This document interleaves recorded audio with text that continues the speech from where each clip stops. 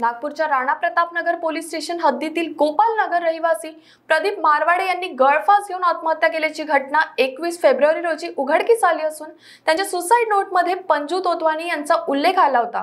पंजू तोतवानी यांना अटक करण्यात आली आहे.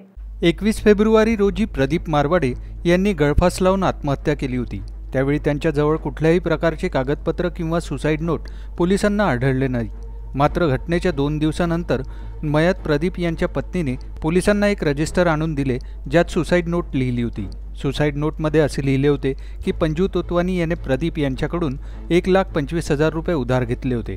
मात्र वारंवार मागूनसुद्धा तोतवानी याने पैसे वापस न केल्याने या छळाला कंटाळून प्रदीप यांनी आत्महत्या केल्याचे स्पष्ट झाले. याच पार्श्वभूमीवर प्रतापनगर पोलिसांनी पंजू तोतवानी याला अटक करत त्याच्यावर गुन्हा दाखल केला आहे तोतवानी याच्यावर या आधीचे मारामारी आणि चारशे वीसचे असे एकूण सात गुन्हे दाखल होते. तसेच पोलिसांचा पुढील तपास सुरू असल्याचे D C P Lohit Matani यांनी सांगितले. राणा प्रताप पोलीस स्टेशन हद्दीत गोपाळनगर जे अ, जगह आहे त्यामध्ये प्रदीप मारवाडे नामक एक आदमीनी एकवीस फरवरीला गडफास घेऊन आत्महत्या केलेली होती.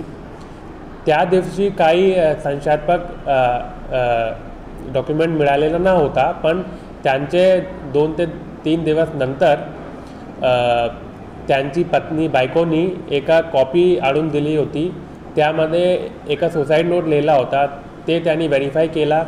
त्या सुसाईड नोटमध्ये असा लिहिला होता की त्यांनी पंजू तोतवानीनी त्यांच्यातून एक लाख पच्चीस हजार रुपये घेतलेले होते आणि ते वापस करत न होता परत करत न होता त्यांच्यातून कंटाळून त्यांनी आत्महत्या केलेली आहे.